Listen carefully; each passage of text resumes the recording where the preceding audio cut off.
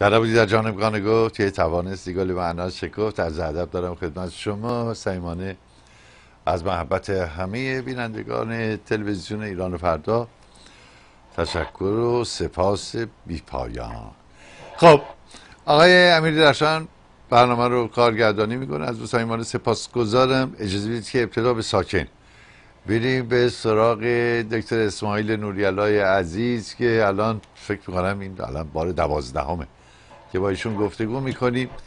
گفتگو در واقع نگاهی به چشمانداز گذشته. گذشته پیش از انقلاب کانونهای روشنفکری در ایران فعالیت هایی که در زمینه های هنری می‌شد باز شدن بسیاری از درها فعال شدن هنرمندان ما در رشته های مختلف و ایجاد تحول و تطور تقریبا میشه گفت در همه رشته های فرهنگی و هنری. و خود این بازگو کننده یک جنب و جوشی بود که بعدا در ایران دیگه تکرار نشد. دست کم من دیگه سراغ ندارم. آقای دکتر اسماعیل نوری درود بر شما. سلام می‌کنم خدمت شما همکارانتون و بینندگان برنامه حال شما خوبه؟ در حد ممکن مقدور. مقدور. با زمستان چه می‌کنین؟ یه یک هفته بسیار چه قطبی رو گذروندیم از سر در این کلرادو ولی الان دیگه از دیروز هوا شروع شده گرم شدن و آب برفا آب شدن اگر اخوان سالس اینجا بود چی می‌گفت درباره زمستان؟ اون اصلا دیگه نمی‌تونست از خونه بیاد بیرون بره میخانه. خب دکتر نوری عزیز بار پیش اگر به خاطرتون باشه فهمودید که قرار بود یک همایش دولتی برگزار بشه درباره شعر و ادب و اینها. از شماری از روشنفکران سرشناس هم دعوت شده بود که در این همایش شرکت بکنن. اما شما معترض بودید که دولت چرا باید در چنین یا حکومت چرا باید در چنین مسائلی دخالت بکنه؟ خب جلسه ای برگزار میشه در منزل جلال آل احمد. همه آماده هستید که بیانیه منتشر بکنید. هم اعلام استقلال و هم اعتراض.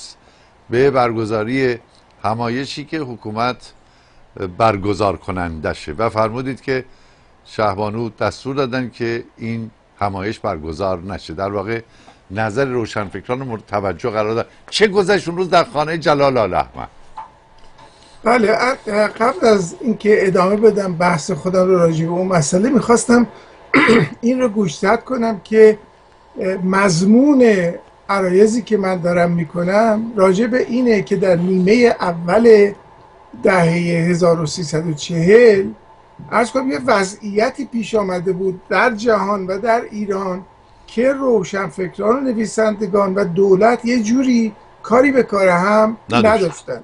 و اینها خودشون حتی یه مقداری خودشونو به قول آل احمد دپولیتیزه کرده بودن غیر سیاسی کرده بودن.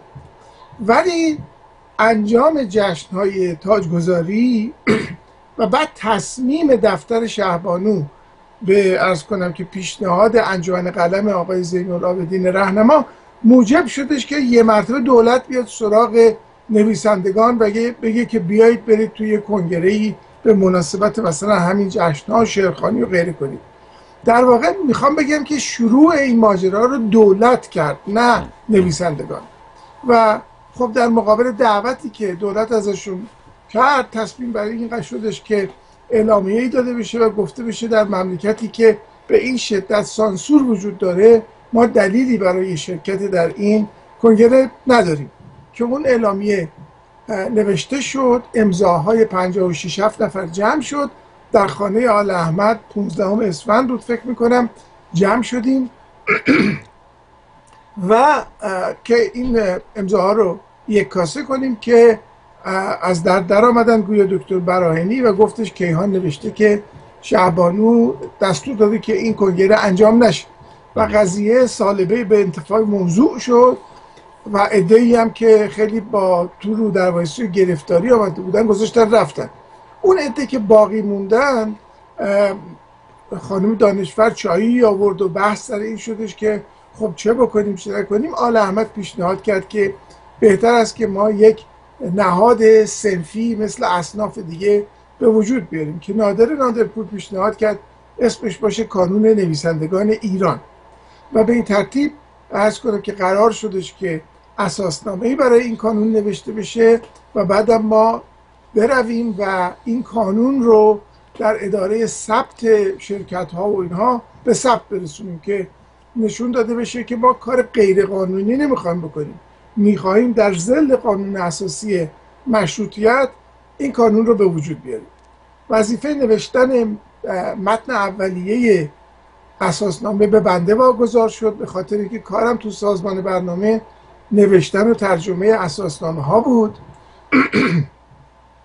و بعد در خانه آقای بهرام بیزایی جمع شدیم و این اساسنامه رو مورد بحث قرار دادیم. در پایان کار وقتی که اساسنامه تصویب شد آقای محمود بهازی محمود اعتمادزاده پرانتز بهازین ارز کنم که ایشون که در واقع از جناح توده ای آمده بودن گفتن که این اساسنامه کافی نیست و مسئله ما رو در مورد سانسور حل نمی‌کنه. بنابراین ما باید یک بیانیه ای هم داشته باشیم که داستانش رو شرط دادم هفته گذشته. و بالاخره این بیانیه هم نوشته شد و ما فکر می‌کنم توی عواسط فروردین ماه 1148 در خانه زندیات جعفر کوشابادی جمع شدیم و اولین انتخابات کانون انجام گرفت. چه تعداد بودید؟ اون منزل, آ... منزل کوشابادی چه تعداد بودید جمع؟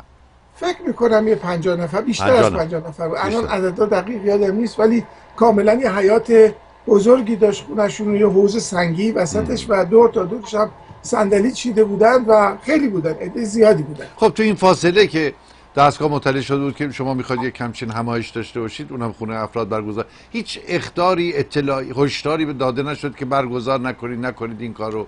کسی احضار نشد. نه خیلی به هیچ وجه بله بله. کنم که در اونجا انتخابات به عمل آمد. خانوم سیمین دانشور به عنوان رئیس کانون شناخته شد. آقای بازین بودند آقای نادرپور بودند آقای براهنی بود آقای هوشنگ وزیری بود و بنده ما انتخاب شدیم که کانون رو راه بندازیم. و بلافاصله پس از اون قرار شد که ما جلسات هفتگی داشته باشیم که من در خونه خودم یک زیرزمینی داشتم که اونجا رو تبدیل کردیم مثلا به دفتر موقت کانون نویسندگان. و اونجا دور هم جمع می شدیم و اولین اقدامی که قرار شد صورت بگیره این بود که ما کانون رو بریم به ثبت برسونیم. بله. در اونجا بود که بنده رفتم به اداره ثبت و اینا گفتن که آقا ما همچی چیزی نداریم که شرک شما که شرکت نیستیم اینجا اداره ثبت شرکت هاست. ما نمی‌تونیم این رو از کنم که ثبت بکنیم. من این رو به خانم دانشور گزارش کردم. و ایشون به من گفتش که بذار من یه فکری بکنم. اون موقع یه مجله در می آمد به نام آرش که آقای حالا یادم رفته زندیات که در اسلام کازمیه که در بعد, بعد از انقلاب در پاریس خودکشی کرد. ایشون سردبیر اون شده بود.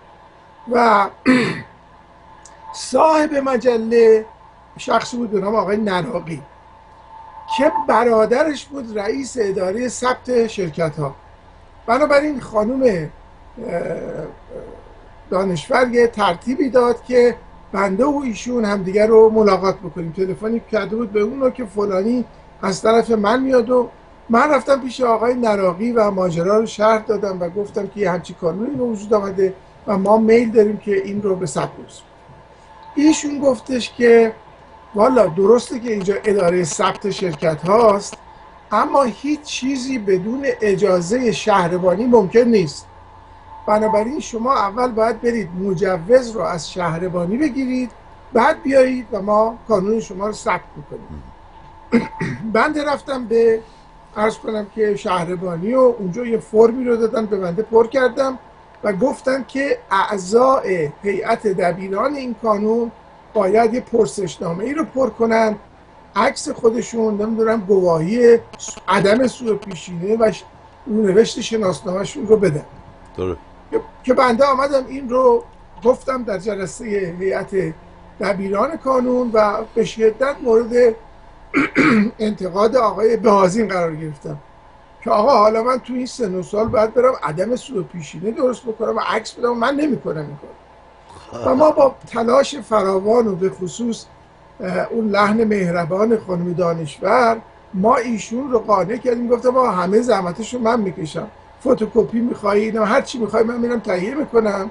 اجازه بدید این پرونده رو ما تکمیل بکنیم. خب. بالاخره ایشون هم موافقت کرد و بنده این پرونده تکمیل شده رو برداشتم بردم شهردوانی پیش اون افسری که مسئول این کار بود.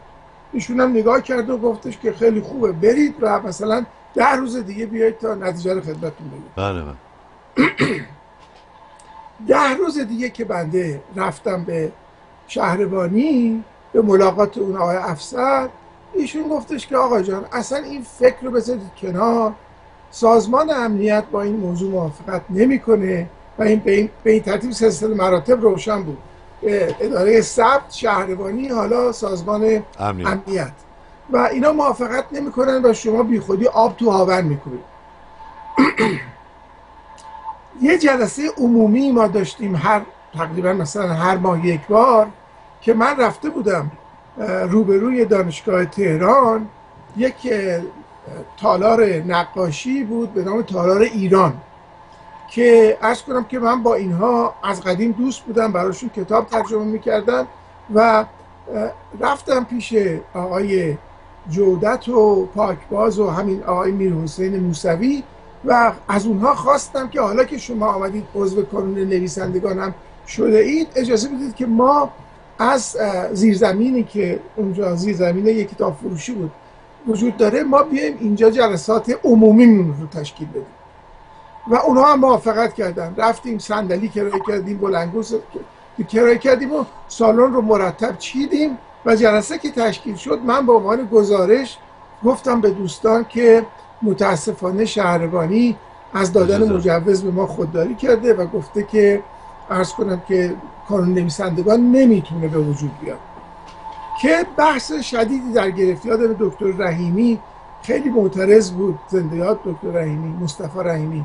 و بالاخره باز آل احمد بود که گفت قانون اساسی داشتن سازمان های حرفه‌ای و سنفی رو آزاد اعلام کرده و در قانون اساسی ذکری از کسب مجوز و ثبت و این حرفا وجود نداره. بنابراین ما میاییم خودمون رو رسمی اعلام می‌کنیم. حالا حکومت خوشش میاد یا نمیاد دیگه برای ما فرق نمی‌کنه. چجوری خودمون رو ارز کنم که اعلام موجودیت بکنیم؟ این خودش یه مسئله قامزی شده بود که اتفاقا در این میانه مادر ارز کنم که آقای نادر نادرپور فوت کرد. و من پیشنهاد کردم که ما بیاییم یک تسلیتی به نام کانون نویسندگان ایران بدیم و زیرش هم اسم هممون رو بگذاریم. همه این رو پذیرفتند و ما هم این تسلیت رو که هیچ جنبه سیاسی هم نداشت.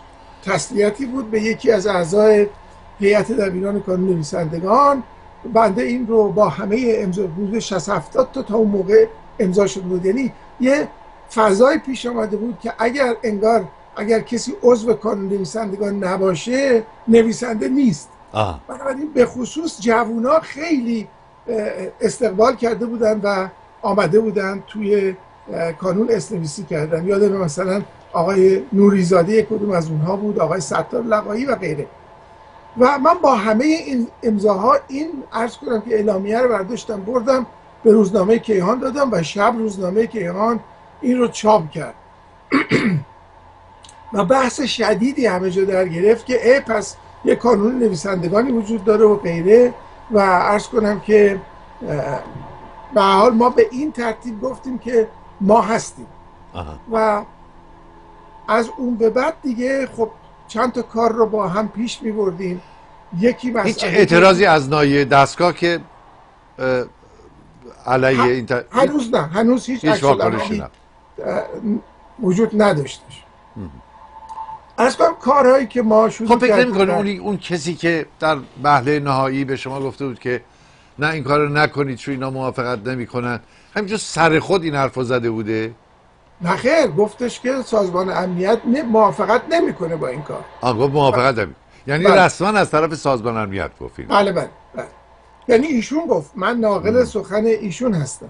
متوجه هستم متوجه. که حالا چیز عجیبی هم نیست. من خواستم یک کارت خبرنگاری بگیرم در چی؟ در پاریس فرانسه. بله. ما در رادیویی کار می‌کردیم که آقای ایرج پزشکزاد مسئولش بودن. آقای دکتر دکتر بختیار هم به اصطلاح سرپرستش. آقای مهری بودند و بقیه دوستان. قرار شد کارت خبرنگاری بگیریم. خیلی ساده. بعد وقتی من مراجعه کردم برای دریافت کارت گفتم شما اول باید برید به سیته. گفتی اونجا چی؟ گفتم اونجا مرکز امنیتیه. بله. فرانسه است. باید تشریف رفتیم اونجا و کلی بازجویی پس دادیم. گفتن بعد جواب دو ماهی طول کشید خلاصه. تا یک کارت برای ما صادر بشه. البته یه تفاوت اینجا وجود بله. داره. خبرنگار با داشتن اون کارت می‌تونه بره در همه مراسم شرکت کنه به شخصیت ها نزدیک بشه و جنبه جنبه امنیتیش زیاده. ولی ثبت یک کانون سنفی به نظر من اشتباه بزرگ ارز کنم که دستگاه بود که موجب شد اصولا جریان روشنفکری رو یک جا بکنه از قضیه. متوجه. و در مقابل دستگاه قرار بده. خب چه فکر کردی حتما باید ثبت بشه؟ وقتی که تو قانون اساسی هم چنین چیزی پیش بینی نشده بود.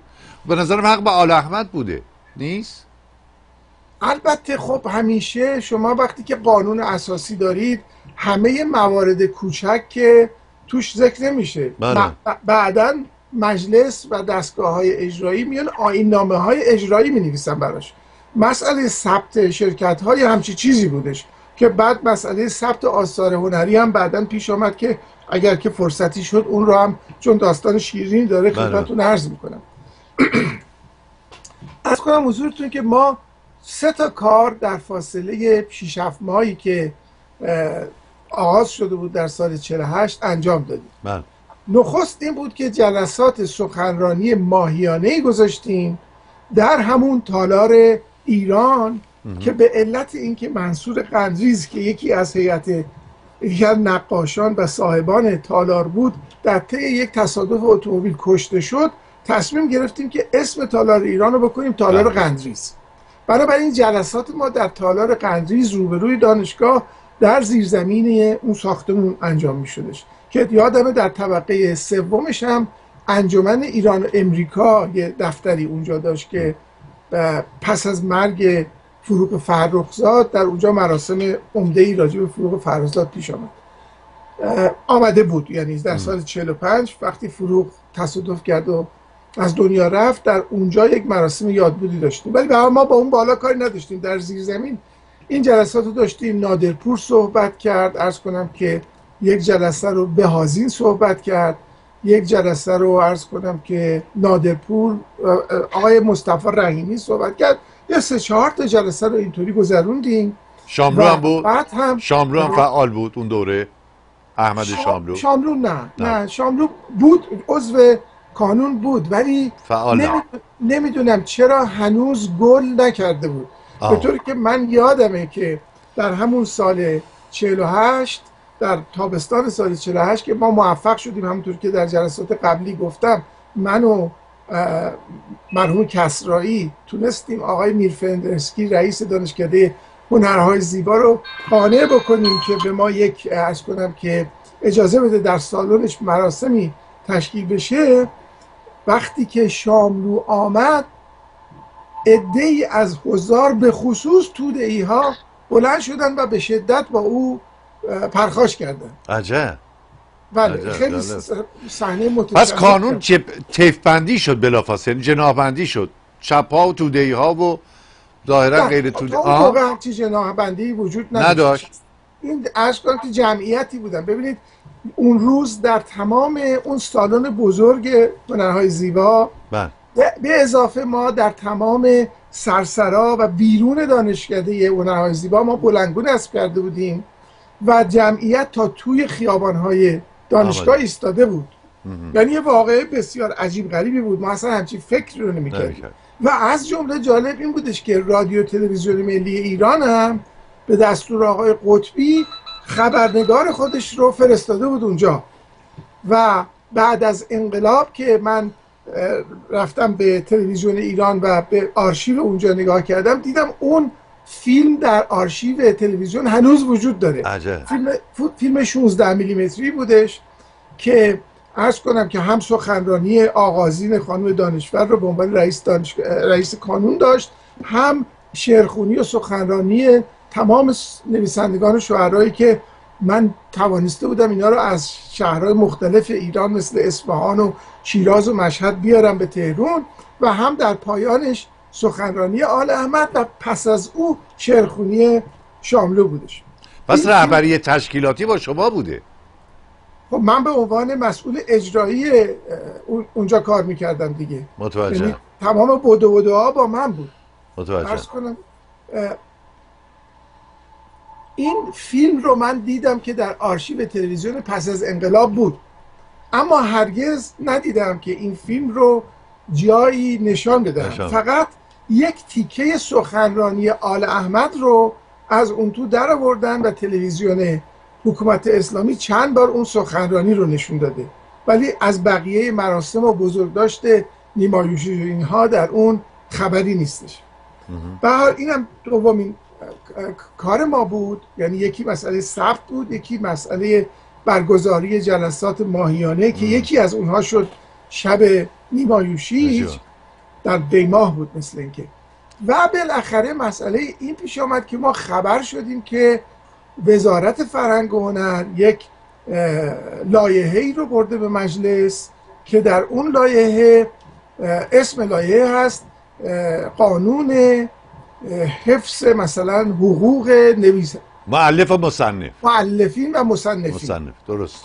و این قانون رو شما وقتی میخوندید ماده اولش نوشته بودش که به منظور حفظ حقوق معلفین و مصنفین این قانون به وجود می آمد و بعد در ماده های بعدی نوشته بودش که ثبت آثار هنری ارز کنم که اجباری است.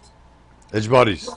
اجباری است. و خب این معنیش این بودش که شما یه کتاب نوشتی یه نقاشی درست کردی یه کار موسیقیایی ساختی باید همه برای اینکه مشمول ارز کنم که این قضیه بشی باید بری به وزارت فرهنگ و هنر و اثر خودت رو ثبت ثبت در نتیجه ما وقتی که خب وزارت فرهنگ و هنر و سازمان برنامه به هم چسبیده بودن من تو وزارت فرهنگ و هنرم خیلی دوست آشنا داشتم. من مرتب می‌رفتم اونجا سر می‌زدم. معلوم شدش که اسم اداره سانسور مطبوعات رو نه اداره سانسور کتاب و آثار هنری رو دادن به اداره کل نگارش وزارت فرهنگ و هنر و وزارت فرهنگ هنر آمده است که این رو ارز کنم اجباری بکنه ثبت کار رو و به مثلا چاپخونه ها دستور داده که شما حق ندارید کتابی رو چاپ بکنید تا موقعی که ما این رو به ثبت رسونده باشیم.